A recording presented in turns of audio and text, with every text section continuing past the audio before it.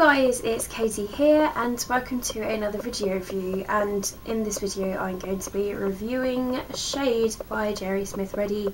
You guys picked this for my viewer's choice for the month of September and it is the first book that is in a series and I haven't read a lot of books about ghosts so I was really, really intrigued about this one. I have heard about it but it's not like really hyped and I hadn't really like heard of it as of late so I wanted to pick it up and sort of get into it and see what I was going to think about it.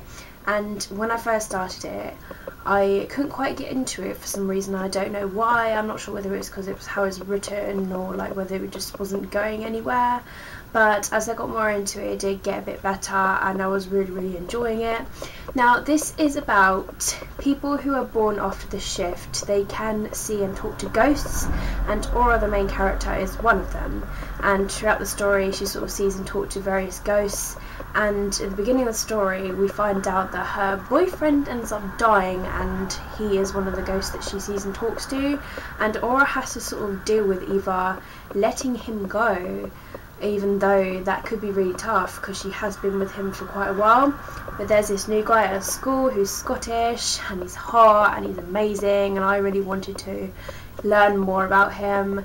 And she was slowly developing feelings for him, and so she was sort of like wasn't quite knowing what to do with her feelings. She was so confused.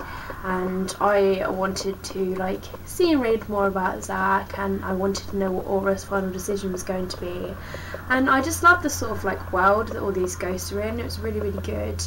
And I really enjoyed it. And the ending just sort of ends in a way where you want to know what's going to happen in the next book. So when I first read the synopsis of this book it actually sounds really good and I wanted to know more about Aura's abilities and more about this Zach person. The storyline was really really good, I found it really intriguing. The writing is easy enough to understand once you get into it. It's written in first person and the chapters are fairly short or to a decent length.